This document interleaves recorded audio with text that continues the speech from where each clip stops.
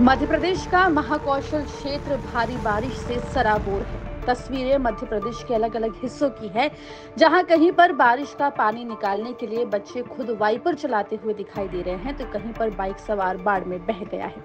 वहीं कहीं पर नदी का जलस्तर इस कदर बढ़ गया है कि कई गाँव मुख्य सड़क से कट गए हैं।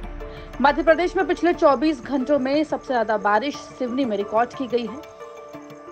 सिवनी में हालात ये हैं कि नदी में बाढ़ आ गई है, पुल के ऊपर से पानी बह रहा है। बाढ़ वाले पुल को पार करने के दौरान एक बाइक सवार युवक बह गया। इस घटना का वीडियो सामने आया है। वीडियो में पुल के ऊपर से तेज बहाव में पानी बहता हुआ दिखाई दे रहा है। इसी दौरान एक युवक बाइक पर पुल को पार करने की कोशिश करता है। पुल के बीच में पहुँचने पर बहाव तेज होने से युवक बाइक समेत बह गया।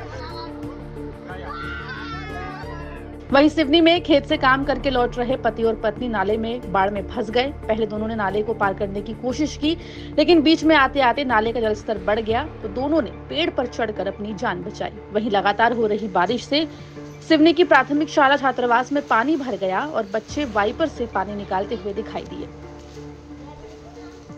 यही हाल महाकौशल क्षेत्र के दूसरे जिलों का भी है। मंडला में बारिश के चलते सिवनी मंडला सड़क मार्ग बंद है। मंडला की थावर नदी में बाढ़ आ गई है, जिससे पुल के तीन चार फीट ऊपर से पानी बह रहा है।